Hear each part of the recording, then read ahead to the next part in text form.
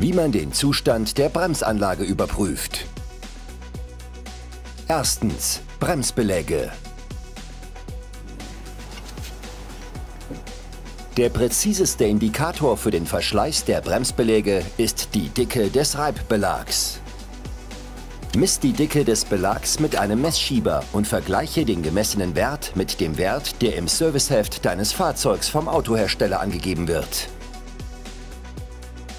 Nahezu alle modernen Bremsbeläge sind mit einer mechanischen oder elektronischen Verschleißanzeige ausgestattet. Mechanische Anzeigen bestehen aus einem gekrümmten Metallstreifen, der an der Trägerplatte des Bremsbelags befestigt ist. Wenn der Reibbelag bis zu einer bestimmten Restdicke abgenutzt ist, richtet sich ein Ende des Streifens an der Oberfläche des Belags aus und berührt die Bremsscheibe, was ein Schleifgeräusch verursacht. Das Schleifgeräusch signalisiert, dass der Bremsbelag abgenutzt ist. Elektronische Anzeigen sind biegsame Metallsonden, die elektrisch mit der Bremswarnleuchte auf dem Armaturenbrett verbunden sind. Wenn der Belag eine bestimmte Restdicke erreicht, schließen sich die elektrischen Kontakte der elektronischen Bauteile und die Warnleuchte auf dem Armaturenbrett leuchtet auf. Es gibt zwei Arten von elektronischen Verschleißanzeigen. Extern. In einer speziellen Aussparung auf der metallenen Trägerplatte des Bremsbelags angebracht. Diese Art von Sensor ist abnehmbar und kann bei neuen Bremsbelägen wieder angebracht werden. Integriert. Diese Anzeigen sind im Bremsbelag integriert und werden immer zusammen mit dem Bremsbelag ausgetauscht. Viele Hersteller empfehlen sogar, die externen elektronischen Sensoren gleichzeitig mit den Bremsbelägen auszutauschen. Zweitens. Bremsscheiben. Um den Verschleiß einer Bremsscheibe zu überprüfen, wird das Rad entfernt und die Dicke der Scheibe mit einem Messschieber gemessen. Die Messungen werden dann mit den Spezifikationen des Fahrzeugherstellers abgeglichen. Sobald der Abnutzungsgrad kritisch wird, müssen die Teile ausgetauscht werden. Zudem ist es wichtig, das Teil einer Sichtprüfung zu unterziehen. Verformungen, Risse, Absplitterungen, Rillen und Gradbildung an den Rändern sind alles Gründe für einen dringenden Austausch. Drittens. Bremssättel. Entferne im Rahmen der Bremssattelüberprüfung den Bremssattel vom Achsschenkel. Entnehme die Bremsbeläge und überprüfe sie. Eine ungleichmäßige Abnutzung des Reibbelags ist ein Zeichen für einen defekten Bremssattelkolben oder Führungsbolzen.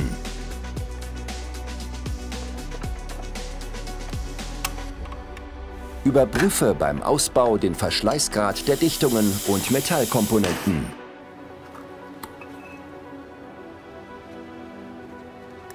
Bei erheblichen Anzeichen von Verschleiß, Verformung oder Korrosion der Kolben und/oder Führungsbolzen müssen diese Komponenten ersetzt werden.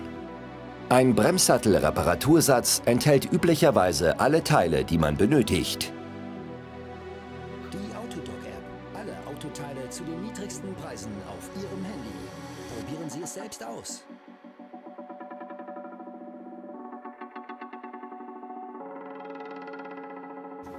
Wenn die Bauteile funktionstüchtig sind, entferne jegliche Verschmutzungen und trage ein spezielles Schmierfett auf die Oberfläche auf.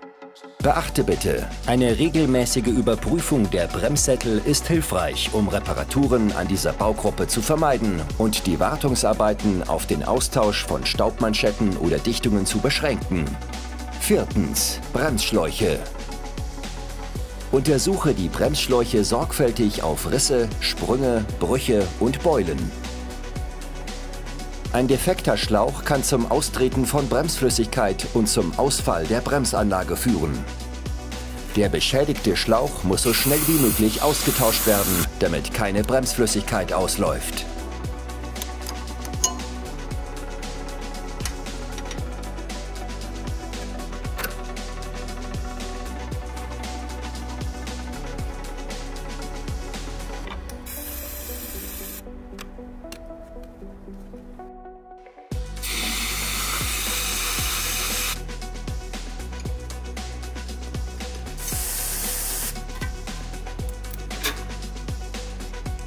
Nach dem Einbau des neuen Schlauchs muss die Bremsanlage des Fahrzeugs gemäß der Reparaturanleitung entlüftet werden.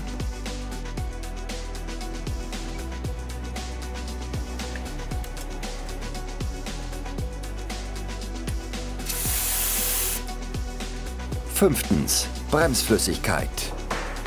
Öffne die Motorhaube und schraube den Deckel des Bremsflüssigkeitsbehälters ab. Der Behälter ist mit Markierungen versehen, die den Mindest- und Höchstfüllstand der Bremsflüssigkeit angeben. Überprüfe, ob der Flüssigkeitsstand innerhalb der angegebenen Grenzen liegt. Achte darauf, wie die Bremsflüssigkeit aussieht. Sie sollte klar, geschmeidig und frei von Rückständen sein. Achte dabei auch darauf, dass die Bremsflüssigkeit nicht verbrannt riecht. Wenn du siehst, dass der Zustand der Flüssigkeit einwandfrei ist, der Füllstand aber knapp unter dem Minimum liegt, dann fülle sie nach. Achtung! Es sollte ausschließlich die gleiche Art von Bremsflüssigkeit nachgefüllt werden. Nähere Informationen zu den Spezifikationen der Bremsflüssigkeit findet man im Fahrzeughandbuch. Stelle sicher, dass du auch den Siedepunkt und den Feuchtigkeitsgehalt der Bremsflüssigkeit misst. Verwende dazu ein spezielles Werkzeug, einen Bremsflüssigkeitstester. Sechstens. Bremslichter. Wenn die Bremslichter beim Betätigen des Bremspedals nicht aktiviert werden, sollte man zunächst überprüfen, ob die Sicherungen in Ordnung sind. Zugriff auf den Sicherungskasten bekommt man unter dem Lenkrad und im Motorraum. Finde die Sicherungen, die für die Bremslichter zuständig sind. Ziehe sie heraus und überprüfe, ob sie durchgebrannt sind.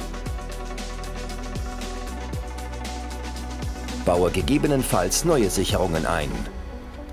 Überprüfe als nächstes, ob die Glühlampen in den Rücklichtern ordentlich funktionieren. Dazu musst du möglicherweise den Kofferraum öffnen und die Rücklichter entfernen. Unterziehe die Glühlampen einer Sichtprüfung, um festzustellen, ob der Glühdraht beschädigt ist. Wenn die Glühlampe intakt ist, solltest du sie mit einem Multimeter überprüfen oder durch eine ähnliche neue Lampe ersetzen.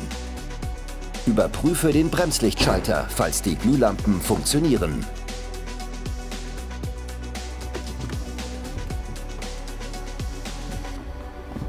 Ein Defekt am Lichtschalter kann durch Oxidation, Korrosion oder Verbrennung der Kontakte verursacht werden. In einem solchen Fall ist es notwendig, das Teil auszubauen und die Kontakte zu reinigen. Wenn eine Reinigung nicht hilft, muss der Lichtschalter möglicherweise ausgetauscht werden.